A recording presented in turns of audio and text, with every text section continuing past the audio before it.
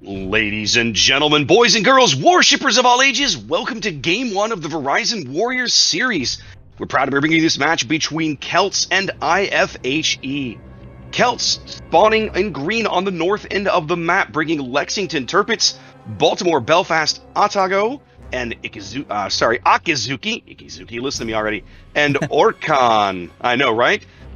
From the south spawn, that would be IFHE. They are fielding Shokaku, North Carolina, fronted by double Amalfi Zap. Ooh. Oh, Chapayev and I know, and double Akizuki. Interesting decision to run uh, double Akazuki there. I feel like uh, the green team has a slight advantage with that Orkan's radar capabilities. Uh, the the choice to go double Amalfi tells me that they are hoping that they can hunt and kill a, a destroyer early. And a Tirpitz. Indeed. Now, this might be one of the first times we've seen a Tirpitz in Tier 8 competitive play. And, well, in a very long time, anyway. You and I Mhm. used to see them way back in the day in Supremacy League, right? But in this kind of play, it's uh, I'm not sure we've seen one in a very long time. No, I am excited to see a Lexington though. I doing Supremacy League. I used to love and prefer Lexington over Shokaku back in the RTS days. Indeed. It's interesting that that Celts has opted for a triple radar lineup. That I feel like that's absolutely going to give them uh, a bit of a leg up here. So it's going to be curious to see how IFHE decides they want to they want to kind of um, you know set up and, and, and play out against against this uh, this this this much radar on the opposing team. Yeah. Meanwhile, Pikachu going in for an early torpedo strike on Involuntary Souls Lexington, making him feel less comfortable uh, being so far advanced as he dives farther south to the I line, heading to J now. Indeed, a bit of a, a bit of a carrier snipe. There's even some more North Carolina shells continuing to fall in on Involuntary's position. Did he Mhm. lead these right? Oh my goodness! He did lead them right. Holy That- cow! Oh, that's a big What a sh- what a shot! Wow. 26 kilometers and change, and Mr. Sox basically almost wipes out the opposing carrier. You know, we commented on this before during the training uh, session last weekend, but uh, with tier 8 ships, they, they don't behave like tier 10s. You could get away with that positioning in a midway. You can't do that in a Lexington. Very not, very not. Well done. A little bit of early hit there. drama at sea. A little bit of early drama at sea. Celts diving the Orkan in, bagging the cap. But the Chapayev double Akizuki smoke cloud on the south end of the cap, making life a bit miserable for Z's Orkan. they got him. Wow. Involuntary Soul goes down. First blood. It's only been three minutes into the game, Raptor. Three minutes in, and the opposing carrier is off the board for IFHE, Zath. That is a huge kill. That is absolutely a huge kill. And IFHE, by the way, we didn't talk about this. Two destroyers, both of them south of Cap, and they're still unable to really do anything down there. Uh, they're on the back foot for a good part of this, but now that the carrier's been um, removed from their opponent, maybe they'll be a little emboldened. Going to be curious to see how things unfold. I mean, you know, Celts here obviously with the cap advantage early, looking like Mhm. they've got a solid board position. The Baltimore, Orkan, and Bell, there's triple radar at sea, Zaf. Yes. So if, if you're IFHE, you basically have to be looking at redeploying your team, seize the play. In my opinion, you've got to break in there somehow. Um, and I, and I honestly, if you know, if I'm if I'm Celts, I'm almost considering bringing the Tirpitz back, but they seem to have a different plan in mind. Yeah, looking at that Tirpitz uh, over by A, it looks like he's kind of fixing to head south and uh, possibly push against two Amalfis and a North Carolina. Does Very indeed look like does indeed look like they are going to drive Wolf Seekers Tirpitz down the four line and push the B cap here. Involuntary Souls last last surviving squadron on the board going in to soften up, try to soften up anyway. One of these one of these Amalfis that's already sitting Yep. on the B cap. Uh, now the the uh, Chapayev uh, eight point Buck 2006 got uh, just got torpedoed. I think that was an Orkan torpedo. Uh, so that's going to force him back a little bit. One thing I haven't really noticed much. You said that C is the is the play. It's going to be the focus. Um, but those Akizukis really aren't making their guns heard, and I don't know if it's a lack of spotting or just a lack of overall positioning to be able to get these uh, the, these guns into play. Because Akizuki's great against cruisers if you could just pop them down there, just start you know pew pewing away. Now it's starting to happen here north of C. I was going to say, Bilsh's Baltimore kind of caught out here. He's a little too far away from the island cover that he he really should be snuggled up more to you know probably his east, I suppose. They are going to get him off the board here between the Chipaya, the double Akizuki, the Shokaku Rockets. He's going to go out. Yeah, That's a it huge second. That's a huge second kill for IFHE playing from the south spawn here. I'm ugh, I'm not sure Celts can pull this one out now, Zaf. Yeah, I think it's uh, it, it, it's it's a matter of time, quite frankly. Once that Lexington goes down, Celts loses vision. Celts loses the ability to focus on one area with with follow up strikes. Um, so, unfortunately, I think they were kind of in the wrong positioning at CCAP. I think they need to be more in a kite away position instead of bow in. Wolverine now going to be coming under uh, sustained fire in the Belfast by the double Akazuki and Chapayev again. Now, I will say, I think if you look at, at board position, they've rotated the Orkan back down the six line. I'm. It it feels like you know they they at one point the Orkan was kind of hanging out near the Baltimore. They pulled him out, pushed him down the six line. I'm not sure I like that play. I feel like if it were if if I was sitting on their shoulder, I probably would have tried to solidify the C position rather than go for this push with the Tirpitz down the four line, which is kind of where they're at right now. Yeah, but I mean, they did lose their carrier early, and that might signal that the need to be more aggressive and, and try to make a play, uh, as opposed to the original plan of well, we'll you know we'll let them come to us at CCAP. And you, I think the Oh. Orkan rotating gives them a chance to to maybe surprise the uh, North Carolina or something. Yep, big salvo from the North Carolina landing there on Wolfseeker's Tirpitz and Pikachu's Shokaku coming in for the follow-up torpedo strike. If these torpedoes get led right, this is probably the end of this Tirpitz. And I think he's going to take Wow. them both. Yep, yeah, he is. Yeah, There it is. there's our death pick. Just like that, three ships upside down, losing control of the C cap. Both their capital ships off the board. Celts looks like they're going to lose game one, Zaf. I just don't see how they can. I don't think they can find their way out of this. Nope. Nope, nope. I, I would completely agree with you. Uh, we're looking at uh, it's just a matter of time at this point. Four ships down now that Wolverine's Belfast 43 goes down. As you like to say, it's all over but the crying. Yeah, it, it feels like it really is. And, and you know, if you're if you're Celts, I'm. I think I think I think it all goes back to the carrier snipe, but at the same time, right? Like we, you know, carrier sniping is becoming more of a valid tactic in in randoms even. And so, in my mind, it you kind of have to come into a game like this expecting it, or at least allowing that your opponent might try it. If you spawn into the game in a carrier, especially something as, as, as fat and juicy as a Lexington, right, which doesn't handle that well and, and can obviously be citadeled by the opposing battleship, you know, turn your engines on, you know, don't sit still uh, in the early moments of a match, look around for a better position, maybe find some cover. At a minimum, get moving. Right. Um, stay with your team a little while. The extra AA help cover might help some. That's certainly, you know, if, if nothing else, even if you find a way to come back from that early carrier loss, just the act of losing it is so demoralizing, right? As a team, you're just like, ugh, it just feels terrible. Absolutely, absolutely. And, I mean, it, it's a North being a, a smaller-ish map. Uh, it's a, a snipe is a possibility, so that that Yep. should serve as a wake-up call to uh, both teams about carrier positioning early on. A little bit of Akizuki on Akizuki action over here at the C cap. Orkan goes down, and uh, that that'll Vipers- pretty much cover it on that flank. Yeah, Viper's Akizuki will go down momentarily, and when that happens, that is essentially the game. Ten seconds on the timer. IFHE cleans things up nicely. They were going. They're going home with a win here in game one. Solid win for them. Very much so. I wonder. I wonder if their name is IFHE if they took IFHE on all their ships, including their Amalfis. It feels like it's probably a waste on the Amalfis in North Carolina, but I'm just speculating.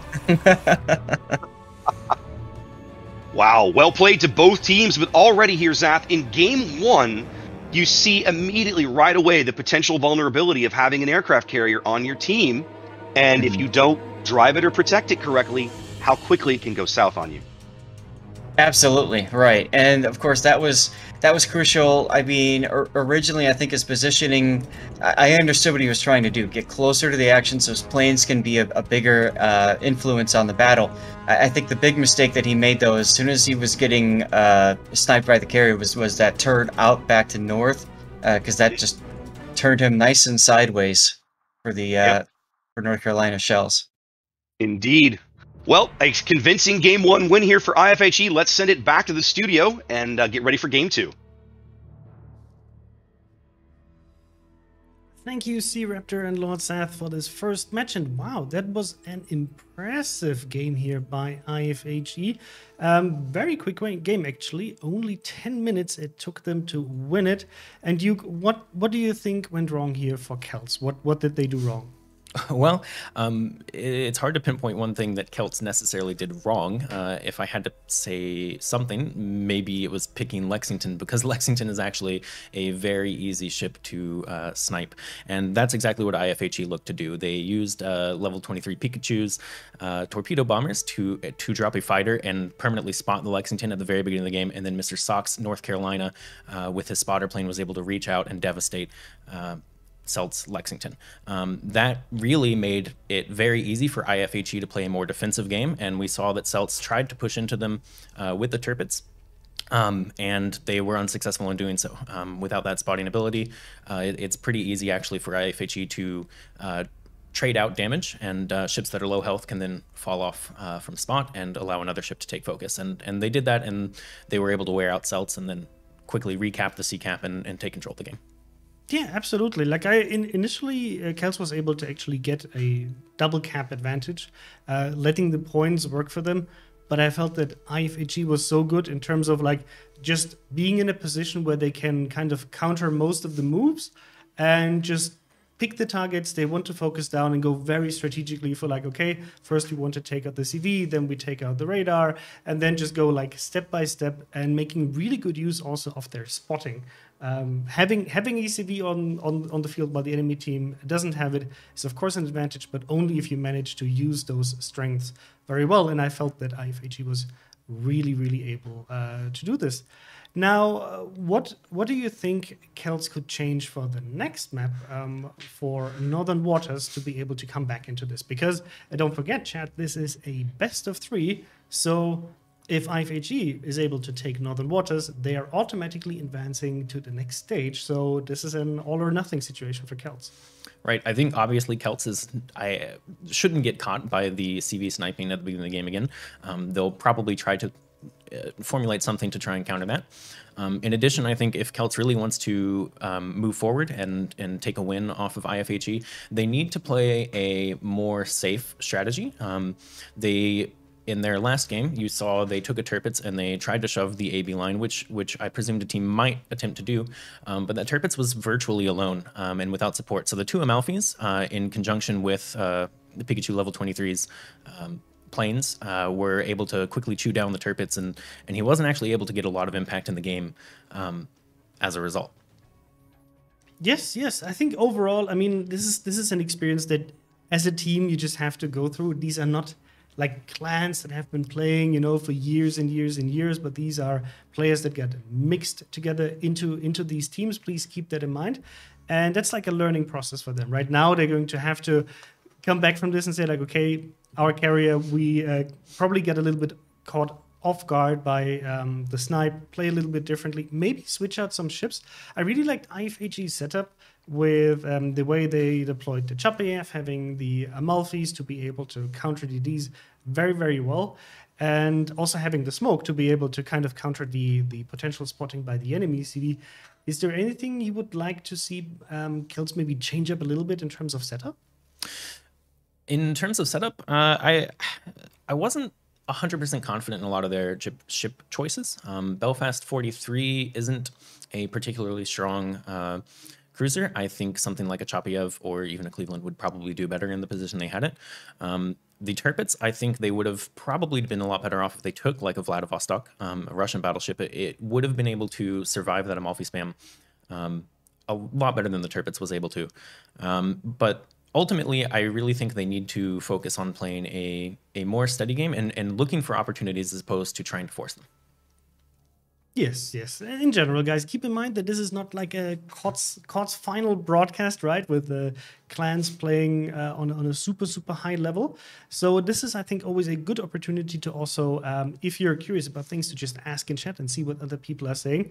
And just uh, take a look at this a very, very different tournament on tier 8, right? Where players are going to be uh, playing against each other without having like a huge amount of time to prepare for all of these tournaments. Um, if you would compare this tournament to like King of the Sea, like how do how do like big clans actually prepare for a tournament like this? How to, for a tournament like Verizon? Yeah, no, no. For example, for a tournament like King of the Sea. Okay, so yeah, so uh, for King of the Sea, big clans, um, as far as weeks before the actual King of the Sea tournament, um, the leaders of the clan will spend night upon night uh, deliberating in training room, uh, drawing up strategies, and then arguing against each other what works, what doesn't work. They'll have internal scrimmages where they pit um, players from their own clan against each other, maybe to try and simulate um, one cap of the map and see if their strategy works out the way they expect it to, or if there's any holes in their strategy. Um, and they'll also, of course, do scrimmages against other teams. So they'll look for other teams participating in the King of the Sea, and they'll train against them as much as they can. Yeah, absolutely. I think this is one of the things that um, you as a team, especially when you're newly formed, right, and you kind of want to get into being able to compete in tournaments if you don't really have a lot of experience, is the best thing you can do.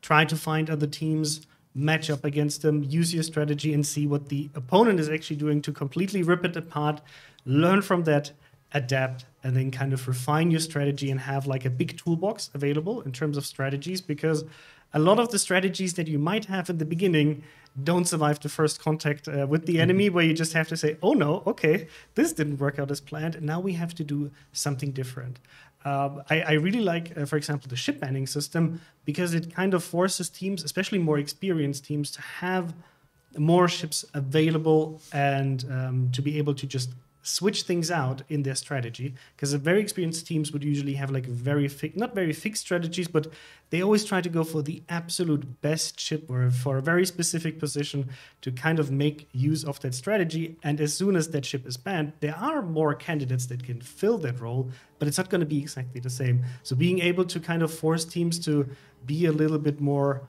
dynamic and adaptable i think is always good right? For me it shows that the teams it, it really matters about skill, not just training, but also having the ability as a team to adjust on the fly what kind of ships the enemy team banned.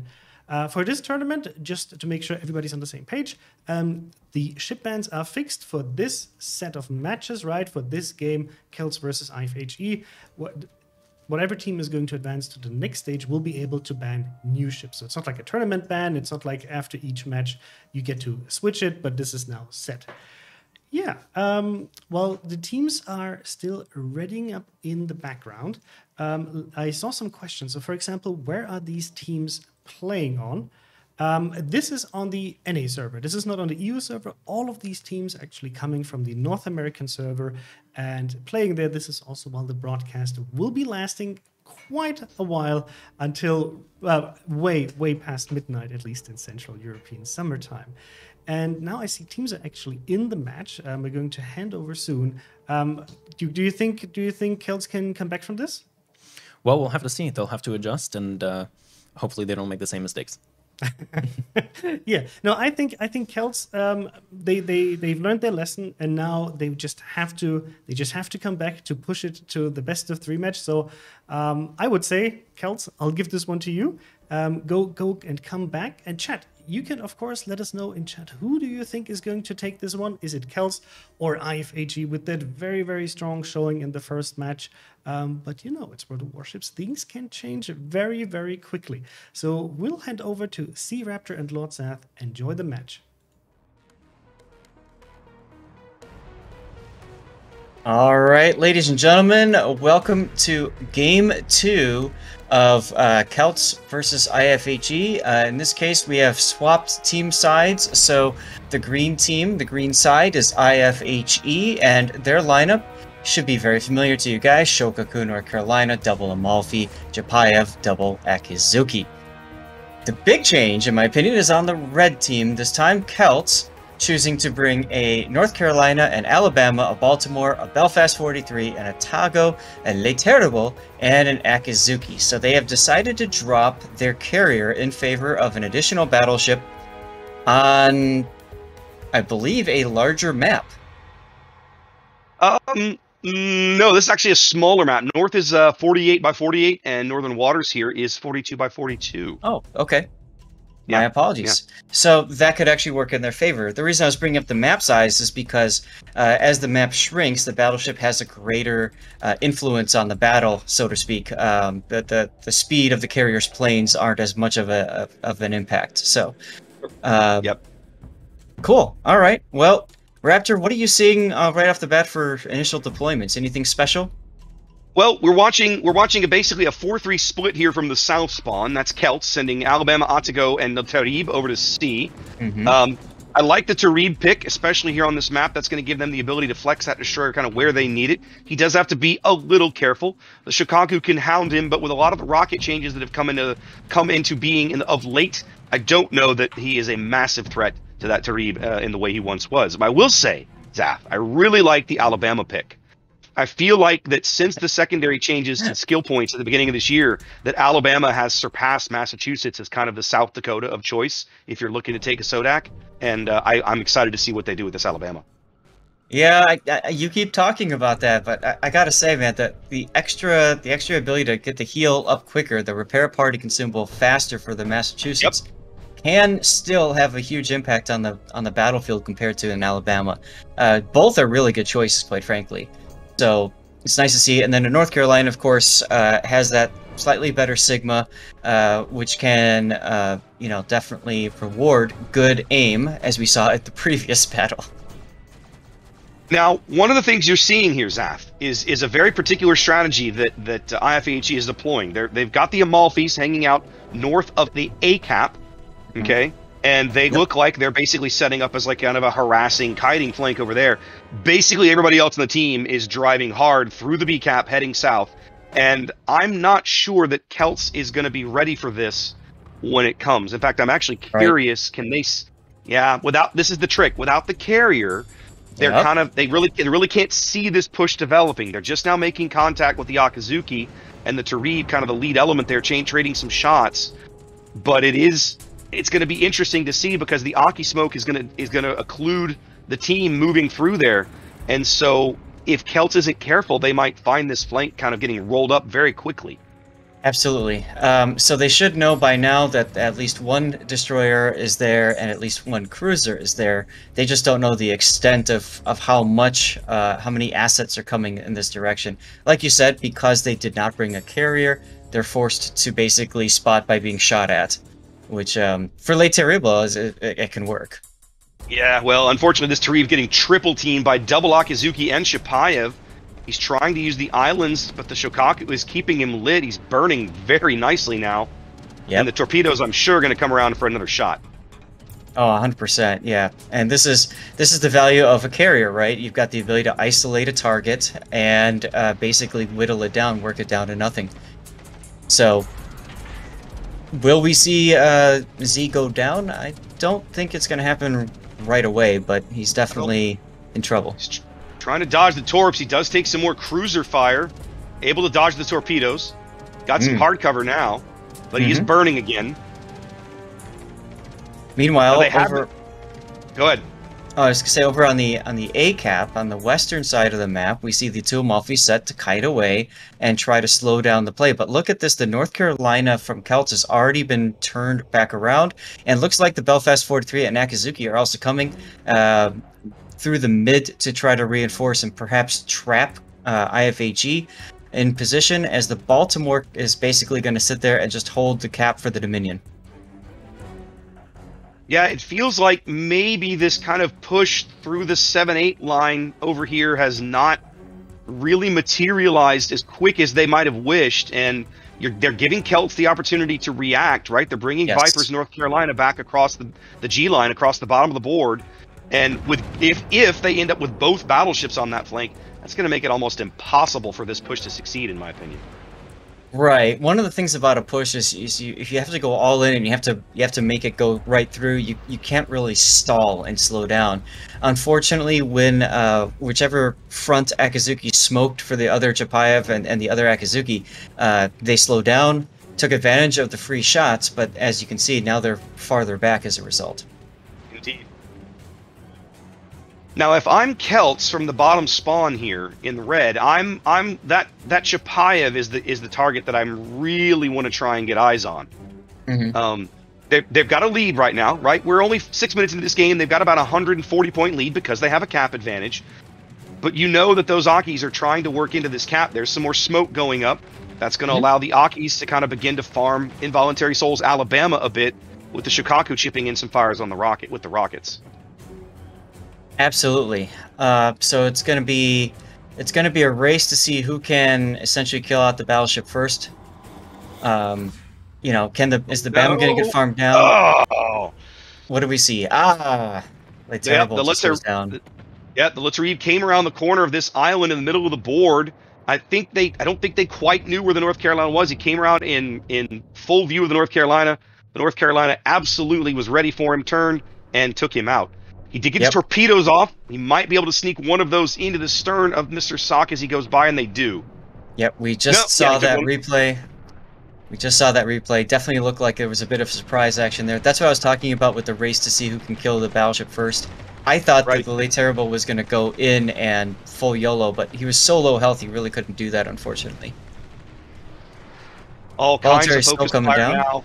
Yep, all kinds of focus fire now on Involuntary's Alabama. In fact, he's about to turn. If he overturns too much, oh, I think he's. I think he's. Oh, he's gonna just barely dodge his torpedo. Yes. But it's not gonna matter in the end. The Yakis are gonna farm him down. Oh, absolutely. Yep. We're- um, fortunately, a replacement battleship is just arriving. Well, one of the things we are seeing, Zath, is we're seeing the impact of the lack of radar on this flank. Right, both of their radars have been Mhm. chilling in the A cap. They brought Mm. back the battleship. I like that play. I feel like they should have brought back one of the radars after seeing what these guys were doing with the double Locky Chapayev Smoke Cloud, right? They did Well, it uh, last game too. Yeah. A, a few minutes ago, I was talking about that. I had literally thought Right. they were just going to plant the Baltimore there and send everybody else back to the middle, but they didn't. They just turned Yeah. it back around and said, "No, no, no, go back, back up and kill the kiting Amalfis because that's totally going to Yeah. work." Yeah, they're they're continuing to chase these Amalfis up the two three line, and it's just really not going to amount to much uh, at the end of the game, right? Because the game is not going to be won on that flank now that there's been a lead change and they're down two ships. Right.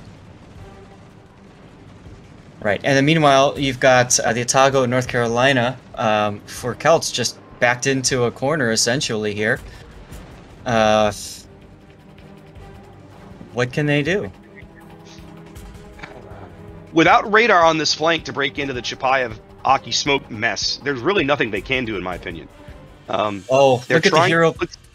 Look at the hero play going on north of A. Look at the Akazuki coming around on this Amalfi. What are you? Why? Why? What are you doing? You're only you're only down 60 points. Like you get a kill, you can still win this, but not if you get free salvoed off the board, which is exactly what's about to happen. Yep, here comes the IFHE slap. Yeah, like SAP will turn you into paste very quickly. Goodness gracious! That- I don't know if that's a misplay or just frustration, kind of rearing its ugly head. Yeah, yeah. I've. You know, Zath, Well- I, I, I gotta I gotta really hand it to IFHE, right? For a team for a team that took one radar Mhm. and one carrier, it feels like they have absolutely controlled vision in this game. Just like these guys came to this game with a plan of how they were going to make this lineup and this team arrangement work for them. Yeah. And they have executed it, I won't say flawlessly, but they've certainly executed it incredibly well. And Celts has really just struggled to adapt and, and respond to it. Well, we just saw a moment ago uh, the the wargaming stream. They they dropped uh, the view of the of the green team. So we just looked at it from Team Red. Nice hit there. Wow. Um, and we just looked at it from the Celts perspective, and Celts could not see any ship. Yeah. Any ship. Yeah. So talk about vision. There it is. Yeah, yeah. no, that's that's what it all comes down to at the end, right? Like when you if you can't see the enemy to shoot at them, it, it you know there's not much you can do. And the, between the carrier and the the, the Chapayev cloaked in smoke, they've done just a brilliant job of ke- keeping vision on the targets that they needed to see, and Mhm. denying the opponent vision on the targets that they wanted to protect. Again, namely, in my opinion, that Chapayev and the Akazukis. Oh yeah, the Akizuki, Akizuki, Chapayev, Death Snail. Uh, these guys Yeah. are doing work. Yeah. They've they've practiced this. It's obvious they know what they're doing. I, I really did like the double battleship play. And Mhm. and I feel like I feel like they could have made that work really well for them. The trick was they needed to put a radar on each cap Yes. rather than rather than load all the radar onto one cap onto the uh, the A cap I believe it was on the left flank right they needed to send a little bit of radar to each cap if, if you're going to win by controlling caps especially in this in, in, in without a carrier you, you need that ability to spot things and lacking it, it it just it all fell apart for them Absolutely. Absolutely. All right, well, guys, this match is done. Game two over. Congrats to IFHE. They're going to be moving on. We'll have a look at a game three here in just a few minutes, but for now, let's send it back to the studio. Congratulations to IFHE um, making it with two matches into the next stage of the tournament. Let's bring Duke and talk about this match. Um, very, very interesting for me was actually that IFHE didn't change their setup. They just took exactly what they had in the previous match, while Celts shuffled around a lot of things and dropping the carry off completely. Um, what what do you think happened there? Was it lack of confidence in the carrier providing them with um, the benefit, or was it just like a map specific thing? You think? I, I think Celts probably after the first game they thought, okay, how can we prevent RCV from being sniped like like happened on North, um, and they you know it's a time crunch. You've got to be able to come up with these things on the fly, which is a really difficult task. And so they decided, well, let's do a, a double ba- battleship strat um, because you obviously can't CV snipe a battleship. um, I think. Uh, in in terms of IFHE's play, um, the double Akizuki Chapayev is extremely strong, uh, as they showed us. Um, and like Raptor and Zath said uh, during that cast, um, Celts didn't have an answer to the the double Akizuki Chapayev, um, and the without any spotting, the double battleships weren't uh, able to apply the pressure that they needed to. Um, and yeah, that's Yeah. that's pretty much how I'd sum that up. Uh, IFHE did a, a really good job playing that map, um, and Celts had to react, and and and that's the harder part. If if you're forced to react, then then you're at a disadvantage from the get go. Yeah, even though even though I thought that um, Celts actually had a good chance to come back into this match because they didn't lose the Le Terrible um, early on. They actually like they kind of threw it away, but I mean there was a bit of a surprise due to lack of vision, and that's what we talked about earlier, right? Having a CV or um, the way you position your ships, vision is very very important, um, just to know what the enemy is about to do and kind of plan your steps around it. But when we take a look at how the teams deployed, um, Celts were very very stuck on the other side of the map, um, deploying both of their radars there and even sending the Akizuki to chase two Amalfis.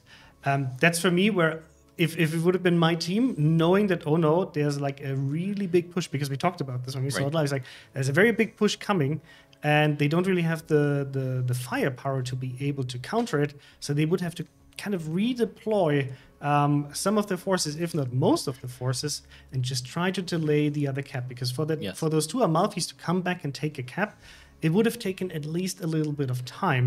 And to redeploy these forces, kind of put a stop there, might have helped them. They were actually leading with two caps, right? And you saw the points at the beginning being actually in favor of Celts and uh, for IFHE, the fight to win by kind of having to make that maneuver. Usually it's easier to defend um, the caps and then making the enemy pay for each single meter uh, coming closer to the caps or capturing the caps. But IFHE seemed very much in control and just going step by step by step by step and uh, just executing their plan. So very, very well played. Um, very good to see um, how these teams have different approaches, and usually I would say teams that are able to switch up their strategy and have like different lineups are always a little bit in the advantage because they're not locked into one specific setup. But maybe it was also just IFHE saying, you know what? This setup worked very well for us in the training sessions, and Right. so far um, the enemy team was not able to break it. We'll just deploy it and uh, see what the enemy team is doing with it, and we can always fall back to maybe maybe a different strategy. And I find in this kind of event, um, it's quite similar to the team league format. And uh, when you play in that kind of event, you you do you look for strategies that work and and synergize with your people. And and if you can really find one that works, like IFHE found, then uh, as long as it's working, there's no reason to, to quit on it, right? Um, I do want to offer kudos to Celts. Um, they did recognize that they needed to do a rotation, and they rotated the Because I've got Carolina Discord up on the right, game in the middle, play. and on the left, I've- it was slightly delayed because they didn't have the vision early on um, that they needed to identify that uh, Akizuki and Chapayev push. The only thing that I think could have really saved them though is if they also had recognized earlier and been able to rotate the Baltimore into a position that the Baltimore would have been able to influence that push because the the radar of the Baltimore honestly could have really turned the the game around against IFHE with two battleships staring you down um, and a radar threat. The Chapayev really can't get that close. It, would- it would be very risky. So.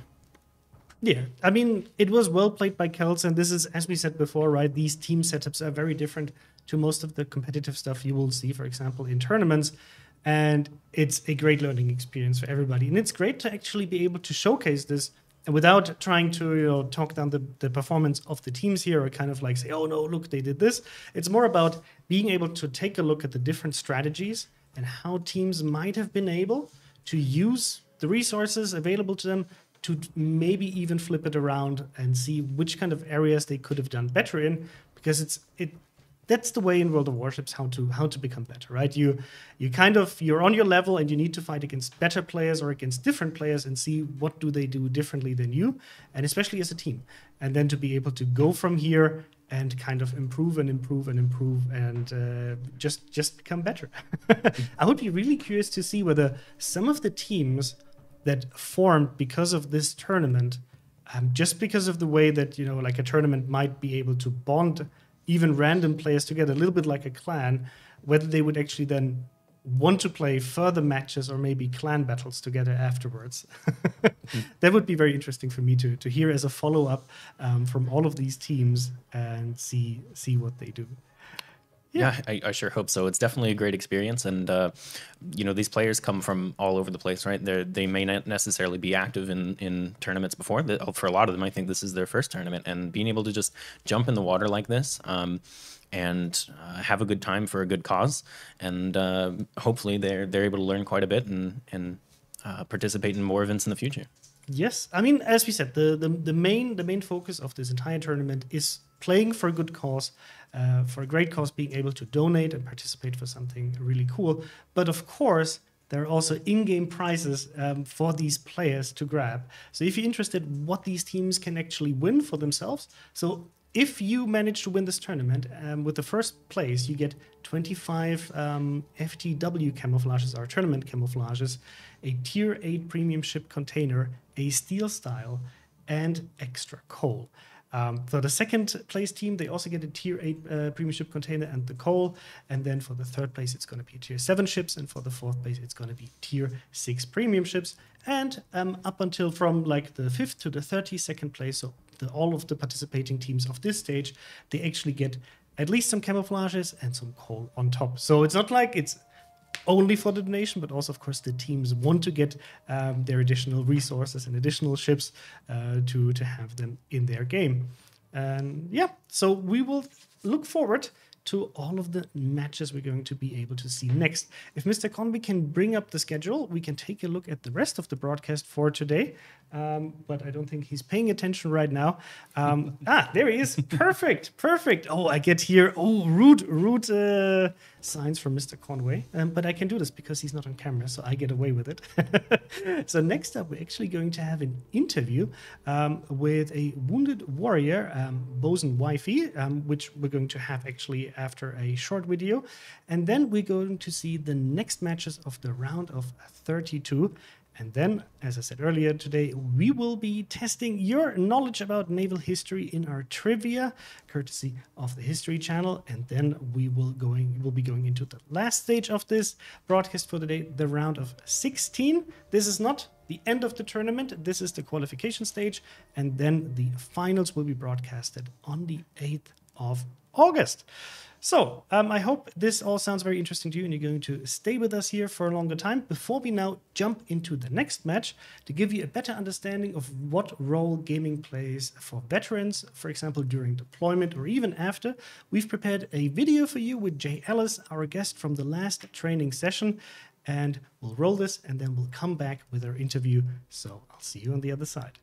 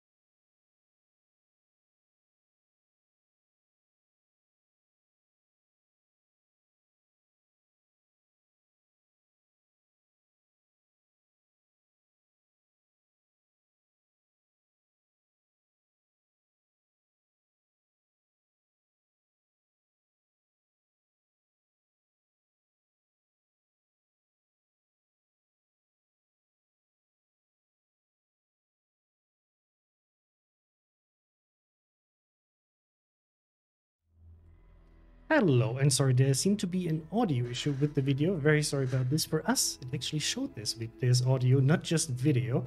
Um, so Mr. Conway is trying to fix this um, for you in the background. Um, so just give us just give it give us a minute here. Um, it, it has to be you know it's a live broadcast. It always there has to be like one thing that has to go wrong on a broadcast day. But if you um, would like to contribute to Wounded Warrior Project, a great organization with actually a lot of lot of different programs to help veterans in need. You can still donate and actually contribute. Um, you just have to follow the link that we're actually dropping in chat throughout the stream, where you can help out um, if you think that this is a cause worthy of supporting, or if you want to contribute to any other of the veteran-focused organizations that we're actually supporting here together with Verizon. Um, you can always find their homepages right and see what they're about and pick one where you would like to do your part or for example sign up as a volunteer this is something you can of course always do if you want to contribute maybe not through money but actually for example through time now let me just check with mr conway whether we're going to play this video again maybe Look, let's just try again. I, I mean, I, I'm listening to the broadcast, right? I was listening to the video. I don't know why chat wasn't listening to the video. Um, let's just we'll just try again, and we'll, otherwise we'll come back and we'll see how we do. We're back.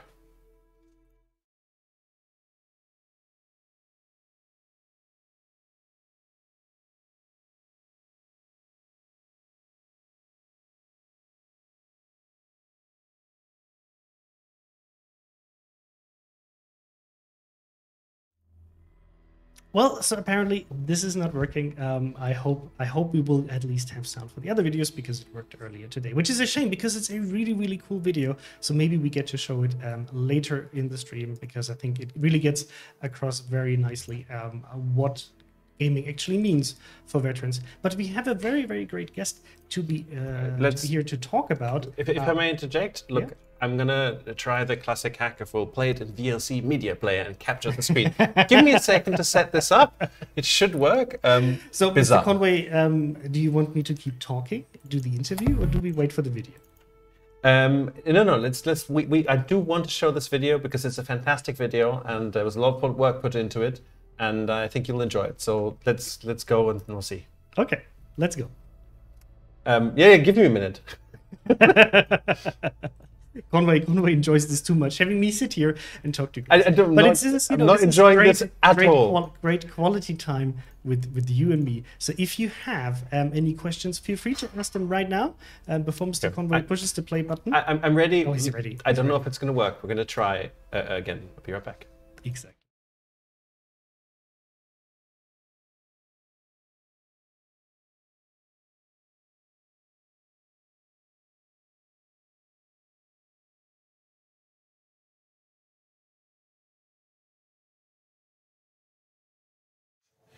But now,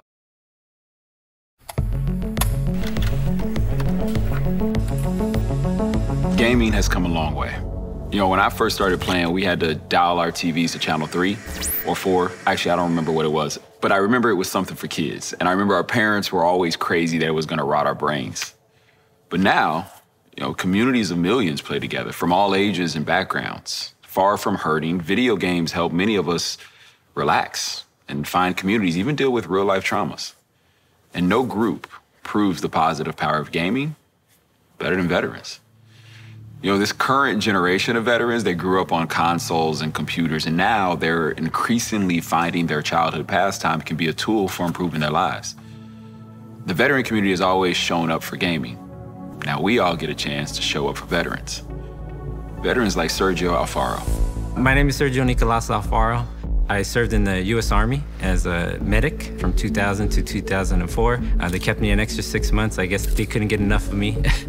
Sal Gonzalez, United States Marine Corps, 2003 to 2005. Jason Hill, Army veteran, 1998 to 2002. I served overseas deployments in Korea and Bosnia. My MOS was 19 kilo, and that's Abrams tanker. I was the driver. The military's motto is hurry up and wait. You get up at four o'clock in the morning, you you get through all your inspections, you get all your gear together, and then you don't leave until eight in the morning. Right? There's like a four hour gap between when you're ready and when you actually roll. We were stationed at Camp Junction City back in the day. That's what we called it. Camp Junction City was pretty close to Aramati. It's 15 minutes west of uh, Fallujah.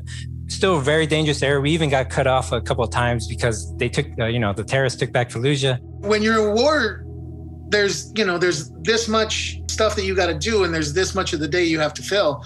The rest of the time is spent trying not to go crazy. Gaming was one of the big ways that we were able to kind of relieve some stress and, you know, kind of pretend for a little bit that we weren't in the middle of a war, you know? I think it just helped me so much to, to, to have that reprieve, that break that was so necessary at those times.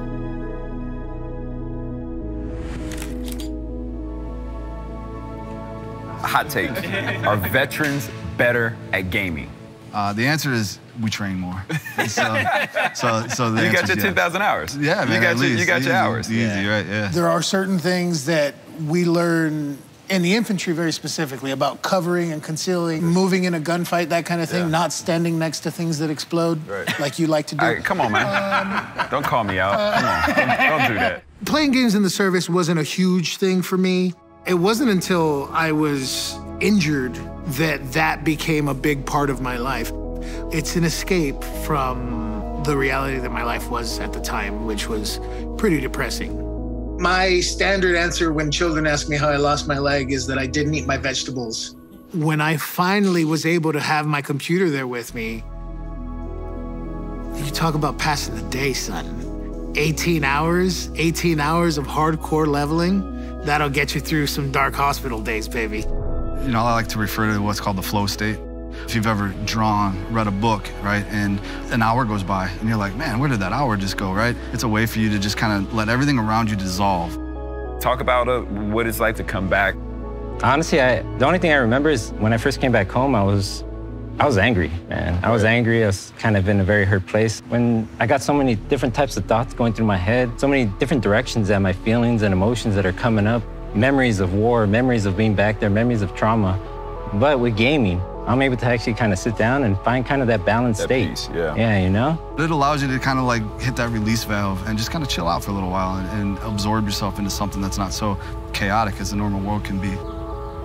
I think about like when I was a kid in the service, living on all the bases I lived on, and my dad's friends who had gone out on different deployments and come back, and even my dad's experience. Like, what does community mean for someone who's who's retired from the service and comes home?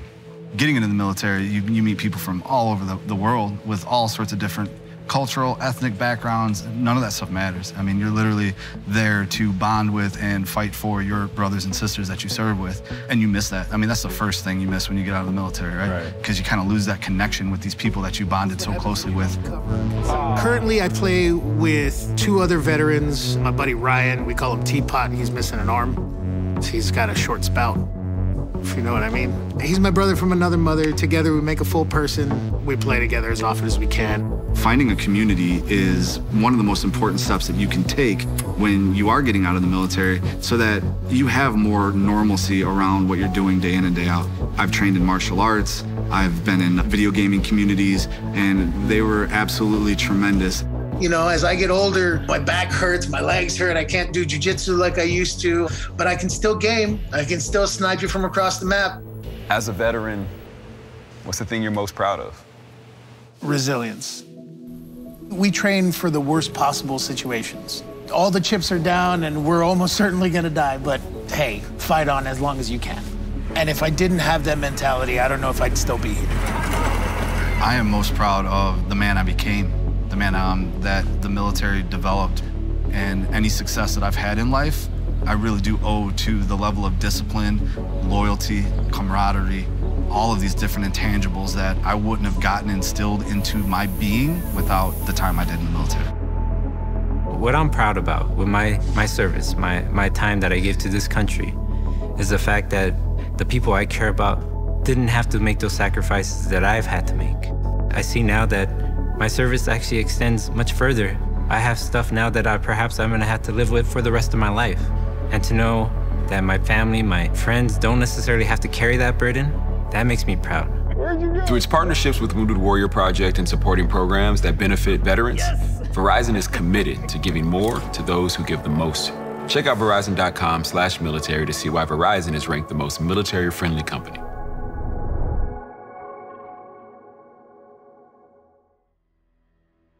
Hmm. Great video. And now, after a little bit of struggle to get the audio to you, we now have our special guest, actually from Wounded Warrior Project, Jody Farmer. Hello, Jody. How are you doing today? Hi, how are you, Chris? It's nice to be here.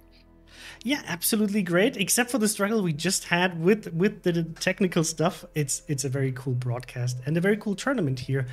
And I really like the video that we just saw because it shows the personal side of things, how it is actually for uh, veterans uh, during deployment or after, um, how gaming is actually taking um, the, the the everyday life, the struggle, and so on, um, a little bit away from that, and being able to you know give give something else to to work with. But um, let's talk a little bit about you. How did you actually end up joining wounded warrior project and uh, what are you doing now that relates to gaming Well, I started with Wounded Warrior Project after I ruptured my spine in three places, and I was in uh, Germany um, at Landstuhl Hospital. And Wounded Warrior Project gave me a backpack. They gave me, you know, a couple of necessities so that I didn't have to stay in hospital clothing. Um, you know, some much needed pair of sneakers, so I'm not having to wear those lovely thin flip flops. And um, after I went to the Wounded Transition Unit, and Wounded Warrior Project was one of the partners with the Wounded Transition Unit, so I got to know them a bit there, which was about 2007, 2008. Um, after I was medically retired out of the Army because of the injuries to my spinal cord, um, I signed up to be an alumni with Wounded Warrior Project. And for a while, it was just a couple events here and there where I would go out to a nice dinner with my husband, or we would get to go and check out, you know, the Dallas Cowboys Stadium, or just a few events here and there. Um, but when COVID happened, I was just enrolled in college. I was accepted into the University of Oklahoma. And I started going back to school to get myself out of the house because the depression, anxiety, and PTSD just was not working well for me being at home all the time. So I needed a new goal. I needed something to do. Um, six, seven weeks into the school year, because I started in January, COVID happened. So the exact excuse why I got out of the house, I was forced back into the house.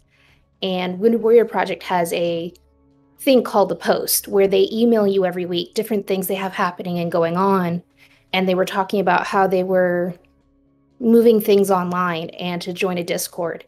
So I asked my, at the time, 18 year old son, what in the world is Discord? Can you explain this to me? He helped me download it and I got plugged in with Wounded Warrior Project through the Discord.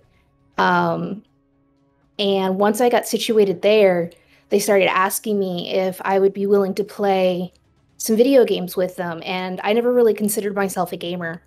I was always watching my husband or my son play things like Assassin's Creed, Mass Effect, um, Battlefield Bad Company, you know, just different games like that. And they're like, well, do you have Call of Duty? Well, I had to stop and ask my husband or my son, hey, do we have Call of Duty?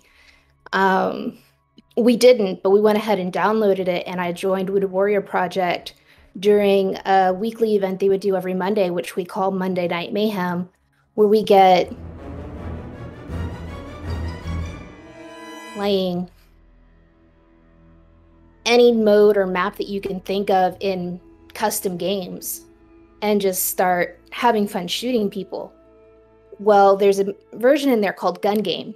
And I'm sitting there and I'm I'm getting a, an idea of how to play the game, but if you don't if you know Call of Duty and Gun Game, how you end it is you have to throw a knife. Well, I was so new to the game, I didn't know that. And so I'm going around and I'm stabbing people with with the last weapon I have, and they're all yelling at me in the Discord, you have to throw the knife. So it was just kind of my first, you know, instance into that. Well, I started looking forward to Mondays. Mondays became like my my rock or my anchor because you know, we're in self-isolation because of COVID and then they started deciding that we were going to do some tournaments and do like search and destroy 2v2s. And I had another veteran say, hey, you know, why don't we go ahead and learn this? I can tell you what, what it is you need to understand and started explaining to me the weapons you want to have and just how it works in CDL, which is a whole different ballgame when it comes to Call of Duty. And so I started playing the tournaments. And the first tournament, I was an absolute disaster. The second tournament, you could see my improvement, and I made it actually into the second and third bracket. Um, and then by the third tournament, I was just excited to be there. And I was told I needed to start streaming, I needed to share my story. Well, my college had also started sending emails out that there's an esports club. and so I figured if I want to know more about gaming, if I want to know more about streaming, they're just down the street from me. Why don't I go ahead and plug in there as well? So I applied to be part of OU Esports. Well, the director of OU Esports is also a veteran. So when he found out I was a veteran and the fact that I was plugged into Call of Duty, he let me know that they didn't have a team at the college for Call of Duty, but they wanted one. So he gave me the option to go ahead and use my leadership skills from the military to build a team. So I jumped at it. I, I went down a rabbit hole because I had no idea what I was getting myself into. And it's been a whirlwind of a year since then. Um, I have, you know, two CDL teams, a Warzone team, and I'm now head coach at OU Esports for Call of Duty. So I went from not considering myself a gamer to now looking at corporate sponsorship and funding for a team so that I can help teach wonderful leadership skills and teamwork and how to take gaming from being an I to a team idea and allowing the next generation to learn some things that I got to share because I learned them in the military. Wow, that's a that's a great story. So you uh, started as basically not a gamer, and within a year, uh, being able to kind of being fully integrated into into gaming and uh, using that to kind of give your your life a new purpose, right, and like a new new direction uh, to actually work on. That's that's fantastic. Um, you you talked a lot about um, how you basically started this off by um, actually joining the WWP Discord and meeting people online compared to not having that community sense because you cannot meet people in person, especially with Corona, it might be very challenging. How was how was that for you, being able to kind of connect with people online compared to, you know, offline? Well, one thing I found is there's no barriers of distance. So there's some people I've made some wonderful friendships with that may be in Chicago, Atlanta, uh, Maryland, even in California. And then I can't forget to talk about my veteran friends in the UK out of London um, that actually still play with us on a weekly and monthly basis. And where before, if we weren't doing the online stuff, it was just who was around locally. So you may only get to know a couple of veterans. Now, 24 hours a day, seven days a week, I can log into Discord. And if I'm having a bad day, I can talk to somebody. I can see who's gaming because I can't sleep because my insomnia is just out of whack. And at two o'clock in the morning, be like, hey, I'm getting on Warzone. Anybody want to join me? And there'll be two or three veterans on there going, yeah, I can't sleep either. Let, let's go, you know, shoot some zombies or, you know, just just knock out a few things and we'll talk. And the great thing about gaming is it's turned into like a therapy session, but it's okay if you don't say anything because you have that video game there kind of filling that empty space. And it's okay if you don't talk because you get engrossed in the game and it kind of gives you those endorphins, the same kind of endorphins you get if you're playing a sport um, like soccer or basketball or football, which a lot of us can't anymore because of our disabilities. You get the same endorphins from completing a challenge through the gaming. And then on top of that, you know, a bunch of us have come together and we keep telling Wounded Warrior Project this Discord is our generation's VFW or American Legion. That's what this Discord has turned into for us in this last year.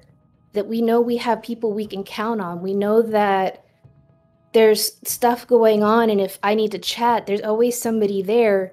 It's not just during business hours anymore. It's not me setting an appointment and waiting a week. I can talk and hook up with other veterans to just have fun and forget the world for a couple of hours and just get the frustrations out by, you know, blowing up a few things or, you know, shooting people down just because that's the big part of just about any uh, first person shooters that most of us veterans play. Yeah, I think I think this is something that especially during the pandemic um, that is great to hear that people can find something positive during that maybe negative time, uh, not just because of the pandemic, but because of other personal reasons. Mm-hmm. That there is always somebody around that you can talk to because by now most people live online if they're not at work. Um, um, and even then, to be able to know that there are places where you can find other people, uh, there are places where you can find help. You don't have to be alone. You don't have to struggle on your own. There's always somebody there that can help you, be it as a veteran or also as just like a regular person, just you know struggling with life. Um, that there are many communities out there that can that can help. Absolutely fantastic to hear. Um, now, if somebody would love to participate um, in Wounded Warrior Project, how could they actually contribute, or for, for example, become part of um, the WWP Discord? Uh, the easiest way is you can actually just go to woundedwarriorproject.gg and log into the Discord, and they will verify if you're a veteran or if you're a support family member, and then give you the proper roles within Discord. And to answer the question in chat, I was a military police officer in the Army. Um, I was also in the Navy as an aviation electronics technician. So I was in two branches when I served from 99 to 2010. Um, but the great thing about it is if you just go to, you know, you, you do have to spell it out, woundedwarriorproject.gg, and it pulls you right into the Discord. And then they have you send an email to their verify, and then they plug you in where you want to go from there. And there's so many different channels that you can get involved in. We have a crafting channel, we have uh, a foods channel. That way, if you want to share recipes or see what other people are doing in, in cooking, barbecuing, and you know, so that there's something there for everyone. You don't have to be a gamer to get involved in the Discord with the Warrior Project. That's great to hear. Thank you very much. Thank you very much, Jody, for uh, sharing your story with us. We will now have to move on to the next stage of the tournament, but it was so nice to hear your personal story. I think it's always very different um, and, and better to actually hear from somebody in person how it impacted their personal life and how your life changed throughout such an experience than just uh, looking at a video. So thank you. Thank you very much for joining us and uh, have a very nice Sunday evening. Thank you. Thank you, Jody. No, it was my pleasure. Thank you for having me. Uh, our pleasure. Bye bye. Bye. So before we before we move on to the next stage of the tournament, um, let's take a closer look at how the WWP Warrior Care Network helps veterans in need, and then we'll go on with the next match. So I'll see you on the other side in a minute. Mental health is a primary focus of Wounded Warrior Project programming. The need is immense, um, especially with the almost 3 million folks that have deployed and are coming back suffering from post-traumatic stress, anxiety, depression, etc. It was a unique opportunity really to bring uh, some of the top academic medical centers into a network of collaboration with the Wounded Warrior Project, and the results are off the chart. Uh, we take folks that are significantly injured uh, when they show up on the first day, and we bring them to a place in life where they're highly functional. They're able to now spend time with their families, go food shopping, for example, something that we really take for granted. But for someone who's suffering from PTSD, the fact that they can then go and do something as simple as go to the supermarket is, is really incredible. We're able to compress a year of therapy into two weeks. And that's a year of individual therapy, a year of group therapy with a lot of add on wraparound care. We have built this incredible network of professionals who are absolutely dedicated to our veterans, to destigmatizing issues related to trauma and mental health. They figure out what pathway is best for you. We've each taken a little bit different angle in how exactly we're doing the treatment. So with that, we're collecting a lot of information about how the veterans are doing in the program and what veterans may be responding better to one part of the program or another part of the program. Very few people come home from uh, the wars overseas unaffected, and Bill was doing a really good job of keeping it under wraps. The Warrior Care Network program taught us to not avoid our issues uh, that we live with.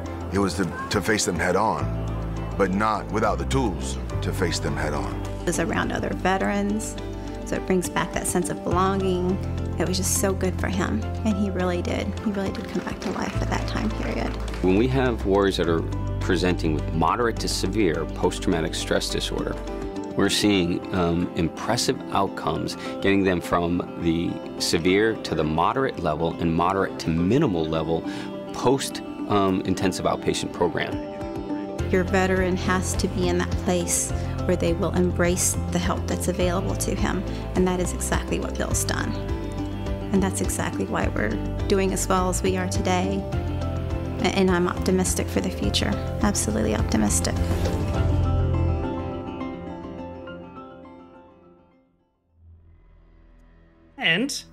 Back now with the last match, actually. Uh, so the best of three, the third match here between 8 and minus 1S.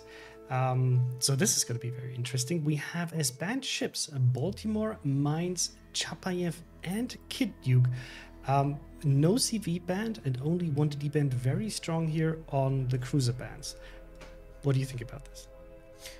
Well, um, I think some of these bans are pretty logical. Uh, getting rid of Chapayev is uh, definitely a good pick. Chapayev has, with its uh, 12 kilometer radar, is actually able to radar um, further than its base detection range, which is which is really great. Um, Mainz is also a very powerful ship in uh, that the tier 8 level. And then yeah, and then we have the Kidd as a ban, And I see the teams are actually jumping into battle, so we're going to be going straight up into action in roughly 50 seconds. Now, both of these teams seem to be on the same level, chat, but you should still let us know who do you think is going to um, win this one. I saw some questions about whether you're able to actually see other other matches at the same time. Unfortunately, not today, um, but we um, try to cover as many games as possible uh, throughout this day and tournament. So we hope to be able to bring you as many different teams as possible, of course, depending on who's going to advance to the next stage. So since we haven't seen any of the previous matches from these teams, there's not a lot of um, guesstimation from our side who's going to win the match or not. So we'll just hand this over slowly to Lord Zath and SeaRaptor. I hope you're going to enjoy this match. Um, of course, we're going to be here in chat for you.